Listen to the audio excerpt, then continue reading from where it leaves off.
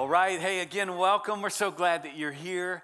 And for everyone joining us online, we're so thrilled that you've joined. I tried to dress as much like Rolando as I could today, but uh, getting close. Love him so much. So grateful for all that God's doing in our midst. It's just incredible an opportunity to help our partners. I love the men of Nehemiah and all that they're doing there. So, way to go, church. Many of you have stepped up and helped in big ways. Hey, let me ask you this Have you ever been taught uh, to do something? And then only later to realize that you were taught how to do it the wrong way. If we had time to think about that, you probably would consider. I'm not talking about like learning something and having to learn it over. I'm talking about actually doing something and realize you were doing it the wrong way. Not like, you know, revisionist history in, in your history class and realizing later, oh, wow, that's not exactly what happened. Or, or realizing that Pluto is not a planet. What? Um, I'm talking about doing something. You know, it happens in sports sometimes. We're watching the maybe the World Series kicking in here soon. You're watching the playoffs. Like a pitcher who, who learns how to release a ball differently after many years, or a golfer who learns how to rethink his swing or her swing, you know, in the off season. It happens. But, you know, here's today, we're going to be talking about something. I think we got it wrong. What we're learning throughout this series on the fruit of the Spirit is we think we've got it, but maybe not. And today we're going to talk about kindness. And I think it might be that we've been doing kindness wrong. As I've looked in the scriptures this week, I'm realizing kindness is next level. It's something other than. And so, with all of these fruit that we've been talking about, um, it seems that we, we're kind of going, hey, as if Jesus, you know how he, how he teaches sometimes, he'll say, um, You've heard it said, but I'm telling you this. So we got love down. No, I think not. You know, that's what's happening every week. Love, joy, maybe not peace. Last week, patience. I thought I was patient, maybe not. And I think it goes that way with kindness as well. So the passage that we're looking at, more than any other passage uh, these days, two verses really, is the umbrella passage. And we find it Galatians 5 verses 22 23. Now you can see it there on the screen, but for those of y'all who want to go next level, graduate course kind of stuff, you can close your eyes and you can do this even now, right? So let's all say it together. But the fruit of the Spirit is love, joy, peace, patience, kindness, goodness, faithfulness, gentleness, and self control. Against such things, there is no law. Now, today we're going to talk about kindness. And I want you to do this. We have a QR code there on the screen that you can look at, uh, that you can go to right now. Let's leave that up long enough if you'd like to go there now. It's also on our website. Uh, it'll be right there with all with each sermon you go to the sermon find it and then you'll have all these great resources there of questions you can ask in a small group questions you can ask in your quiet time what we're seeking to do here is to apply the word of god every single week Okay, not just hear a sermon, again, but actually dig deeper in your own personal quiet time, devotional time, and grow in the Lord. Okay, so just be aware of that every week. We're pointing you there as, uh, as we, some of us are not able to get in our groups uh, together, but these are for smaller groups or in your Connect groups. We've got groups that are launching with that material, all right? So, hey, yeah, today is uh, is we're looking at grapes. Every week we're looking at a, a specific fruit that actually reminds us when we see it, when we eat it. Uh, in the case of the of grapes, we got grape juice, we got jelly, we got jam, we've got vinegar. We, all kinds of stuff comes from grapes. Grapes, uh, they come uh, in, in they're, small, but they pack a punch, right? Uh, we've said that grace then, or, or grapes, and kindness is, is grace in the small stuff. Grapes come in a million ways. I didn't know this. There are 10,000 different kinds of grapes. I don't know if you knew there were grapes. Grapes can be white, they can be pink, they can be blue, they can be red. I've got some red grapes here. They can be, of course, uh, purple. We see grapes all over uh, the world and throughout history. They've been uh, kind, of, kind of produced uh, domestically, uh, cultivated domestically for about 6,000 years. So we see it, we see them through the Bible, all kinds of uses for grapes and they, they come in bunches. You know that too. I didn't know this. They can come as many as five, they can come as many as 300 in a bunch. We're talking about it comes in a million ways. But here's the thing kindness, I think, is, is underrated.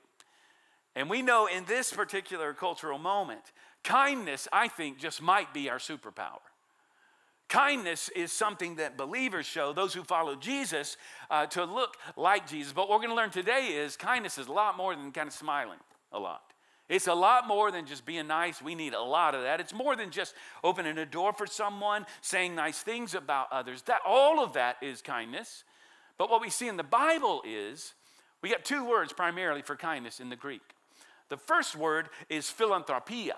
Philanthropia, you can hear the word, do you not? Philanthropy. We get the word philanthropy there. Uh, philanthropist is someone who it's defined this way: an affectionate concern for in, for the interest in for interest in humanity. An affectionate so it's often someone who gives a lot of money, right? You might think of I don't know, Bill Gates, I guess, a philanthropist these days, or others who give. And we, we need more kingdom philanthropists. Uh, that, that is, it's a biblical word. That's not a bad thing. That's a great thing. So some of us, many of us, even in our church, are able to give because God's blessed us so. We need more kingdom-minded philanthropists. As Rolando had noted, it's why the, the uh, in Espanol, the, the, the Spanish speaking ministry was launched. It was because of a philanthropist kind of giving uh, in a trust that was able to be used for that purpose. But there's another word for, uh, for kindness, and it's a very Pauline word he uses all the time. It's Christotes in the Greek. Because what happens is, I think oftentimes we can go, uh, okay, here's what kindness is, like Jesus, you know, you've heard it said that kindness is being like a philanthropist, giving. Uh, don't get too close, don't get too messy, don't get up close and personal. Instead, just give and, and you've done your part. But Christotes is a word that says, no, no, no, no. Here's, here's what, and it's the word in Galatians 5 that's used for kindness, and it means complete and total uprightness in your relationship with other people. It means that you're right righteous, just in every relationship that you're in. Everything you think about a person, everything you feel, everything you do, everything you say. So here's what it means you do not, you don't dehumanize people. And think about this again, in our cultural moment here, you don't categorize people. You don't objectify meaning, meaning, meaning that, that uh, well, they're just an object. Like, like they don't even have a name. They're just those people. They're a, oh, and, and again, you know, right now, oh, they're a Republican, bam. I mean, they're a Democrat, no. You see, and what we do then, we objectify people. It, it happens uh, when we see like sexual harassment. We object, when a, when a man or a woman, when a man objectifies a woman, as if she's not a person, but something instead to be used by him. It's having right thought and love, kindness towards every person, every layer of your life, every thought, every word you say, everything you, you, you do. Paul uses the word in Romans 2, verse 4, to kind of make my point. Watch this. This is next level kindness. This is like Olympic strength kindness. When we think kindness is simply just smiling, being nice, look at what he says. Or do you presume do you assume, do you take for granted, do you just put it aside if it's, as if it's not anything amazing and awesome on the riches of his kindness and forbearance and patience toward you and toward me? Not knowing that God's kindness is meant to lead you to repentance. Now, now when you think of repentance, I, I, I, tend to think of some guy with a bullhorn over in the corner, standing up on a box somewhere, turn or burn, right? Repent, repent, for the kingdom of God is at hand. I mean, Jesus said those things. John the Baptist said those things. Yes, we need to repent, but this says that there's this kindness that comes from God that leads to repentance. His love is to lead us to repentance. And we're going to see that this is the way it should be in our lives. He says, as God has done to us, we're to do to others. In fact, Ephesians 4:32, which is our, our memory verse this week, it says, Be kind to one another. That's that word, Christotes. Be kind to one another, tenderhearted, forgiving one another. So it's just he's qualifying this word as God in Christ forgave you. As God forgives, we're to do the same. And so we thought it'd be great, our teaching team, Orlando and I, as we thinking through how can we talk about kindness. And so we thought this week we'd go to a narrative, just tell a story. In fact, I want you to turn to Luke chapter 10. This is the uh, most popular story that Jesus ever told. You know what it is? Any, any thoughts? Anybody? What would be the most popular story that people know all over, over the world? It's the story of the Good Samaritan. Uh, I heard this week on the news, literally, And now we have a story of a good Samaritan. And I think most people go, okay, somebody did something good for somebody. But I think that we've missed the point of the story. Like so many parables, Jesus wants to find ourselves in it, and he wants us to find him in it. And when we read it rightly, we go, uh oh, wait, this is about me. This is about my life and about how I should live in relation to Jesus. And that's what we're going to see today. I think most Christians have missed the point of this story. Maybe it's why we're doing kindness uh, wrong. All right, so look at Luke chapter 10. And here's what I'm going to do I'm going to read, uh, admittedly, a longer portion of, of scripture than normal because I want you to hear the story as Jesus would have told it to his first hearers. Now, it sets up in verse 25. And behold, a lawyer stood up to put him to the, to the test, saying, so we see a little motivation here, saying, Teacher, what shall I do to inherit eternal life? He said to him, Well, what's written in the law? How do you read it? And he, he answered, You shall love the Lord your God with all your heart, with all your soul, with all your strength, and with all your mind, and love your neighbor as yourself. So he offers the Shema. He said, This is it, comprehensively. And, and Jesus, I mean, and he answered correctly. Jesus says to him, You've answered correctly. Do this and you'll live. Do this and you'll live. Remember his original story. How do you have eternal life? He says, Do this, do that. You got it. But he, desiring to justify himself, said to Jesus, uh, Who is my neighbor? He's kind of asking, really, what, what, so what's a neighbor? What, what, what is, what's a neighbor? And, and who? How far does this go? But Jesus replied, so then Jesus replied in verse 30. A man was going down from Jerusalem to Jericho, and he fell among robbers who stripped him and beat him and departed, leaving him half dead. Now, by chance, using language of the day, by chance, just happened a priest was going down that road, and when he saw him, he passed by on the other side. So, likewise, a Levite, when he came to the place and saw him, passed on the other side. But a Samaritan, as he journeyed, came to where he was, and when he saw him, he had compassion on the man. And he went to him and he bound him up, bound up his wounds, and he pouring oil on, and wine. And, and then he set him on his own animal and brought him to an inn and took care of him. And the next day he took out two denarii and gave them to the innkeeper, saying, Take care of him. And whatever you spend, I will repay you when I come back. Which of these three do you think proved to be a neighbor to the man who fell among the robbers. And he said, uh, The one who showed him mercy. And Jesus said to him, uh, You go, do likewise. You're like, Yep, do that, you got it. But then look what happens next. We go from a lawyer to a living room. Look at verse 38. Now, as they went on their way, Jesus entered a village, and a woman named Martha welcomed him into her house. And she had a sister called Mary who sat at the Lord's feet and listened to his teaching. But Martha was distracted with much serving, and she went up to him and said, Lord, do you not care that my sister has left me to serve alone? Tell her to help me. Or tell her then, like you agree, right? Tell her then to help me. But the Lord answered her, Martha, Martha. You're anxious and troubled about many things, but one thing is necessary. Mary has chosen the good portion, the best thing, the one thing, which will not be taken away from her. Wow. So, Dr. Luke, guided by the Spirit of God, tells this story, writes this story, then he jumps to this story in Bethany. And what I want to do is just now unpack all of this because there's a lot here. Have you ever been in a situation where you realize you were trapped? Like in a, in a contract or an agreement, you wanted to find a loophole. Ever done this? Like, oh, I'm stuck for months in this. How do we get out of this? Reading the fine print. Well, this is what the lawyer's doing.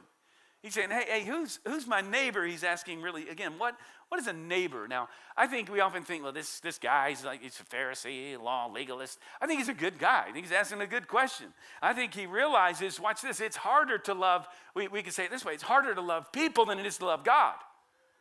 And he says, so how do we reconcile this? How far does this go? And the text even says he's trying to justify himself. He's trying to say, I think I'm okay. But he's asked the wrong question. Did you catch it? His original question? Do you know that he's asked the wrong question?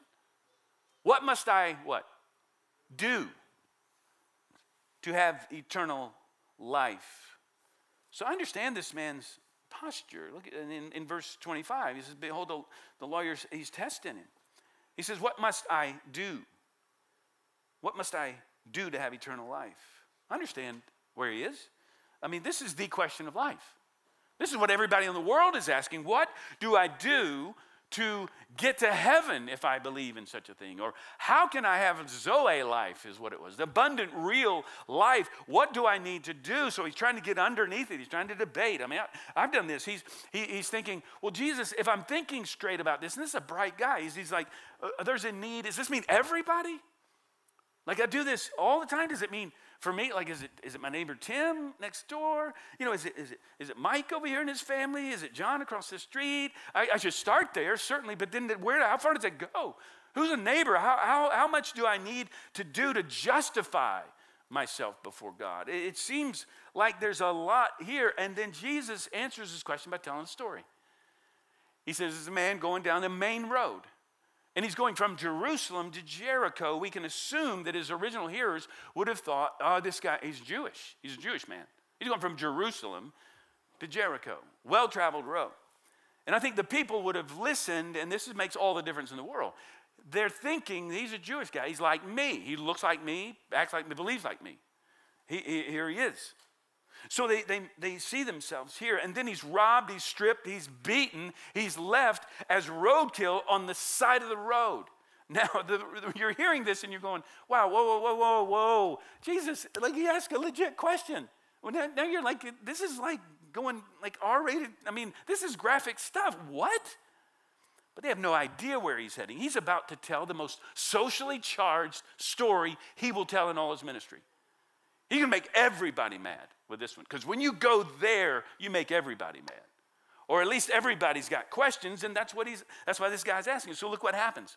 There comes a priest. Oh, oh, this is good news. This is great news. Somebody's going to care for this guy. And he doesn't want to be bothered. He goes around on the other side. Oh, but, but then came a Levite. And he's, now he's offering, like the priest is like a Jewish pastor. And then the Levite, this is from the ancient tribe of, of Levi where all the priests came from. These are the most respected people in their culture. And he says, then a Levite came by, and he, he didn't want to be bothered either. He just went on the other side, didn't even care for him. Guy's dying over here. Then came a Samaritan. Oh! Everybody there is like, wait, what? Where's this going? Jesus brings a Samaritan right in the middle of the story. And again, like in this cultural moment, this would be like, uh, can I say it? It'd be like Joe Biden, who's speaking to a group of Democrats, and he's telling a story, and then he says, and then came the Republican. Oh! It'd be like President Trump, you know, in a big rally, and he's speaking, he's telling a story, then he said, and then came the Democrat. Whoa, he's not going there. Yes, he is. See, but even more so. I mean, these were all Americans, though we're really challenged in these days with such division. But in this, in this story, the Samaritan, you probably know this, these are half breeds, these are hated people. These are people who, who were, were isolated you didn't even go through, the, through Samaria. You would travel around. You didn't want to talk to them. You didn't want to be with them. You beat them down. You berated them. You taught your kids to avoid them. You taught your kids to hate them. The Samaritan steps right in the center of the story, and people are going, What? Why is Jesus bringing that guy into this story? Here's why. Look at verse 33. But a Samaritan, as he journeyed, came to where he was. He saw him. This is the same pattern. Saw him. And then here's where the pattern breaks. He had compassion for him, which means at the core of his being, he's moved. But I want you to see this. First thing I want you to see is kindness sees.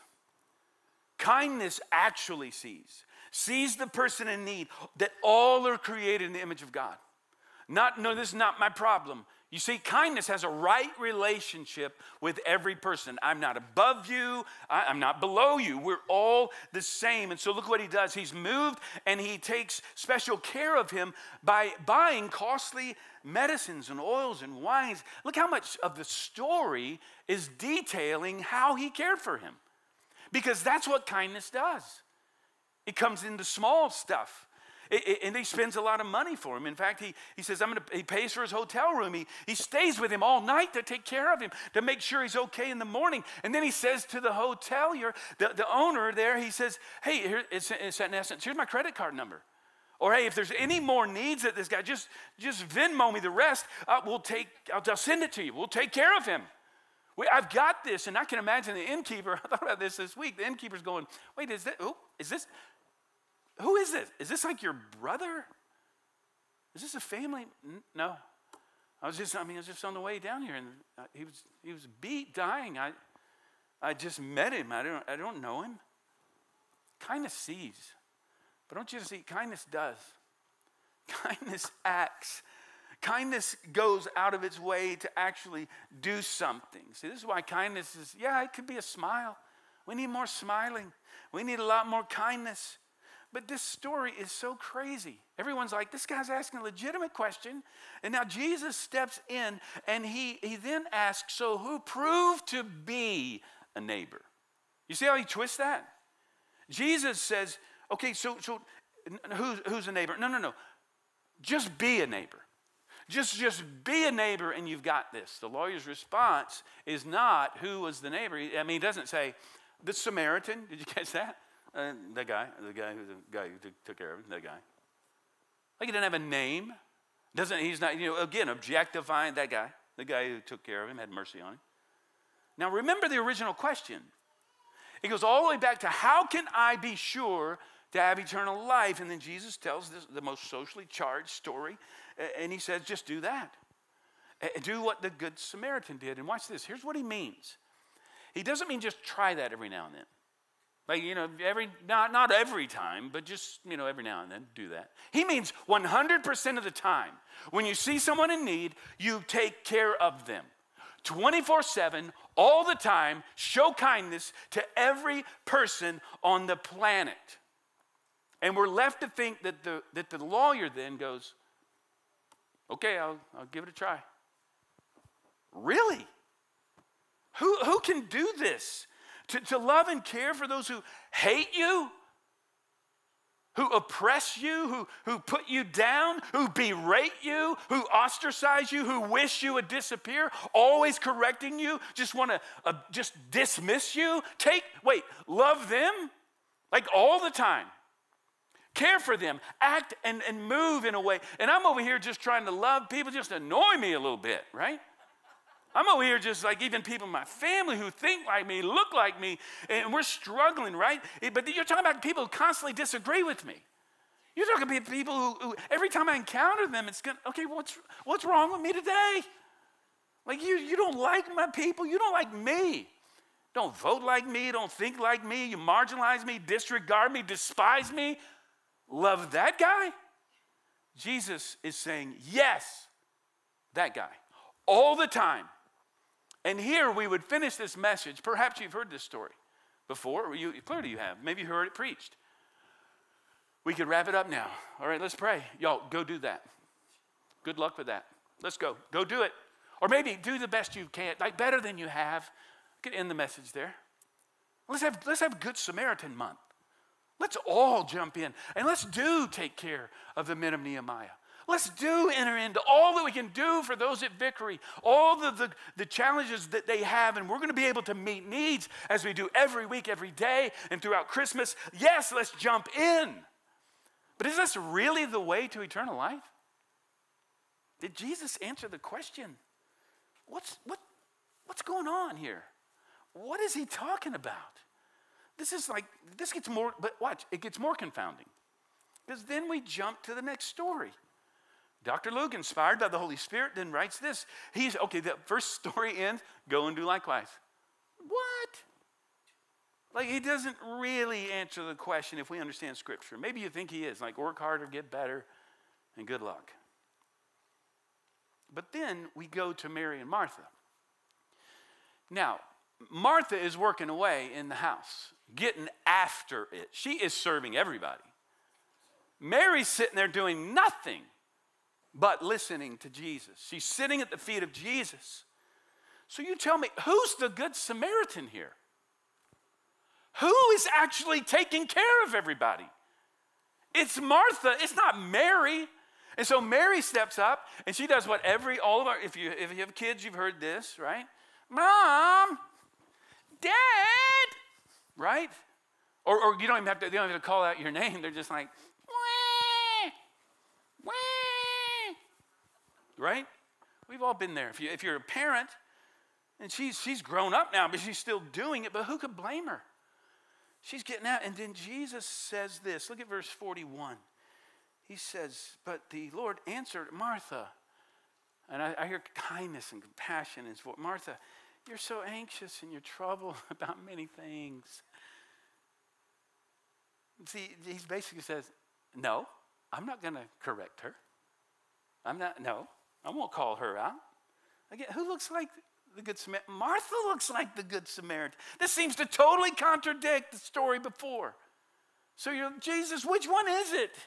What, which is it? What are we doing here? And look at verse 42. But one thing is necessary Mary has chosen the good portion, which will not be taken away from her. Jesus says Mary's chosen the best thing in all of life. He's she has chosen the best thing in human existence to sit before love personified in person. Love is speaking to her. And she's taking it all in. You're wondering, how does this tie to the Good Samaritans? How do we reconcile these stories? Jesus says, be kind all the time. Go into great detail. Spend money on other people 24 7, 100% of the time. You think, well, do I just give everything everything away? Do I do I don't, what, I live out in the, am I become homeless? How, how did, yeah, yeah, do that, do that. It's impossible. And if, and if the lawyer was honest, if he said, that's, that's nuts, I can't do this, nobody can do this, and Jesus would say, You're right, you're right. But he doesn't do it. Remember, Jesus says you're to love God comprehensively, all your heart, soul, mind, and strength. If you do that, here's the point Jesus saying, you don't need me. You do that, you don't need me. The story, uh, the story ends like a lot of parables where we're going, I, I don't even know what to do with this. And again, a sloppy exegesis, and not in light of all of Scripture, would say, go do that. Get after it, get busy, work harder, do better. This is, this is Jesus. This, Jesus. this is classic Jesus. Savage Jesus is saying to us, You live your life perfectly. Go do that, and you won't need me. But he's also telling this story so we find ourselves here. Let me ask you this Who's the Good Samaritan in the story? Who is the Good Samaritan? It's Jesus.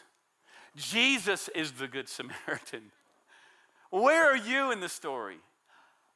I'm the guy who's been set aside. I'm the one who's got I've been beaten by the stuff of life. I've been stripped. I've been shamed because of my sin. I've been put on the side. I'm over here dead in my trespasses and sins. I'm hemorrhaging out over here. I need life and I can't rescue myself. I need somebody come along and help me. So the law comes along. The law's got nothing for me that can rescue me. Religion comes along, says, Get up, man. Get up. I can't get up. I'm dying. I can't do anything. I need help. I need rescue. I'm powerless to help in this fallen, dying state. But Jesus, the Good Samaritan, comes along and in his loving kindness, in his grace, he sees me. And he does something, he comes to me. He, he comes and, and he, he gives to me though I'm, I'm, I'm, I'm, I'm dying, he comes and he says, No, no, no, I will give you the riches of my glory. I will buy you. I'll spend not just a couple of days' wage, I'm going to spend my entire life. I'm going to give my life. And he doesn't just help me out for a few days, he forgives me for all of eternity. He's the one who's been marginalized. Jesus is the one who's been labeled a sinner. He's the one everybody's challenging. He's the one who's beaten, belittled, berated. He's the one who's arrested. He's the one who's put to death. He takes on all of that. He takes on what should have been mine, and then he comes and he rescues me so that I can get up and I can live differently. I can actually live with the power of the Holy Spirit in me. Fruit of the Spirit, kindness. I can actually do this as His Spirit leads me, friends. Jesus is the Good Samaritan. Lawyer comes along trying to be smart, thinks he's asking a benign question What must I do to, to gain eternal life? Jesus says, If you can live a perfect life, you don't need me. Go at it. Try that. So, friends, how's that going for you? Seeking to live like the good Samaritan? No, no, no. The perfect Samaritan. You can go the way of religion. You can work as hard as you can. If you do that perfectly, you don't need a Savior. But if you can't, every person watching me online right now and every person in this room, you need a Savior. You need to come to Jesus. The, the lawyer's thinking, is this a joke? What are you talking about? And he's talking about what he's done for us. If we recognize that we are dying, and he, he tells this story that says, Go and do likewise, then we come to Mary and Martha, and Mary celebrated. What do we do with that? Again, here's what we do with this she is right before, abiding in, if you will, perfect love. When you respond to the love of Jesus, you will sit at his feet. Here's what this means Jesus says, You've heard the Ten Commandments, keep all those perfectly, you don't need me. But I'm going to add an 11th commandment. And so he says in John 13, 34, a new commandment I give to you, that you love one another just as I have loved you, you also are to love one another. As I have loved you. So, what does Mary teach us? She teaches us, friends, listen, we got to fix our eyes on Jesus. We got to fixate on Jesus. We need to abide in Him. I'm talking about sitting before Him. We need to think on His love for us. We need to swim in it. We need to be saturated by it. We need to live and be loved by Him. And then out of that relationship, then we can become like the Good Samaritan, like Jesus. But first, we got to look at him. We've got to love him. We got to be in his word. We got to sit in his feet. Are you doing that in these days? You got to get in a group. You got, you got to reach out to us. Let us help you in these days. Sit before pure love and be kind to one another. I just want to challenge it. Be kind to your friends. Be kind to your spouse. Parents, be kind to your children. Be kind. Be kind to those who don't look like you, especially be kind. This is enemy love we're talking about. Kindness sees, kindness does, and kindness proves that you belong to Him. So I want to close with this challenge. Do you know Him? Back to Romans 2, verse 4. Uh, have you been presuming on the riches of his kindness and forbearance and patience toward you? Not knowing that God's kindness is meant to lead you to repentance. His great love for you, what he's done for you, is meant to turn you away from sin to stop sinning, to stop the habitual sin, to stop trying to prove that you're good enough and turn to Him. You say yes. By faith, not by works. Praise be to God. But right now, by faith. And I want us to close with prayer right now. So I want you to just bow your heads, close your eyes, even at home right now, wherever you may be watching this. Just, just bow your head and close your eyes. Friend, His kindness toward you should cause you to turn away from your little self salvation project. It's not working. And you know it. You need a Savior, and He has come. Receive His grace even now. Turn and repent. Give your life to the one, the perfect one, who's given his life for you. Just say, Lord, come into my heart. Thank you for dying on the cross for me. I give you my life. I repent of my sin. And whatever you need to do, who is it that you need to love this week? Be set free just to love as He has loved you. Lord, we love you. We're drawn to your kindness. We go to be kind to others even now. In Jesus' name we pray. Amen.